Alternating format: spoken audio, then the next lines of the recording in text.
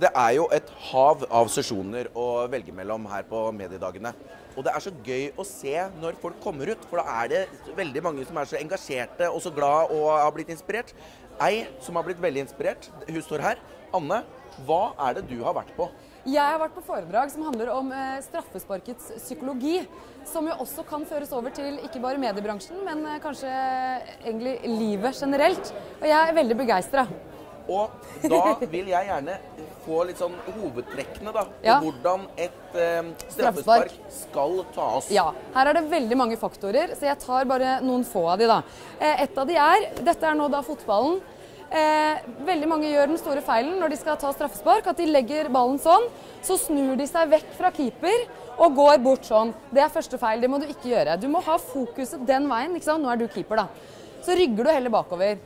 Og så er det også noen som er veldig stressa, fordi at de har bare én tanke i hodet, og det er at vi skal bli ferdig med dette her. Eh, så de bare med en gang dommeren blåser, så er det bare Ikke sant? Men det, da stresser du opp. Det er ikke nødvendig. Og så er det et annet element. Laget ditt. Fotball er lagspill. Du har med deg hele laget bak. Mitt lag nå ser jeg for meg. De står bak meg, de står sammen. De står i ryggen på meg, ikke sant? heier på meg sammen. Så blåser dommeren. Jeg er klar. Jeg er fokusert på oppgaven min. Er du keeper fortsatt, eller? Oi, faen, nå bomma jeg, da. Men jeg hadde, jeg hadde treffet hvis det var ordentlig. Og når, men jo, OK, la oss si at jeg bomma, da. Ja. Ja, Det som er viktig nå da, det er jo For jeg blir jo lei meg uansett hvis jeg hadde bomma. Og det er jo da at mine lagspillere, de støtter meg. Vi er fortsatt et lag. De kommer bort og så sier det til meg. Men Anne, vi støtter deg fortsatt. Ja. Vi er på lag. Og, og nestemann da som skal ta straffespark, for det er ikke et vanlig straffespark, det er straffespark konkurranse, Ja.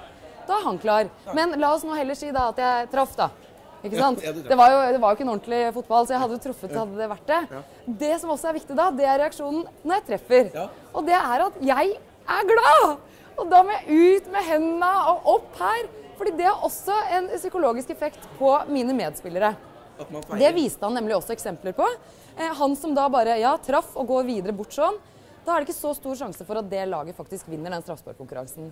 Men jeg som derimot er der, og er kjempeglad fordi at jeg scora, jeg smitter liksom over den entusiasmen på mine eh, lagkamerater.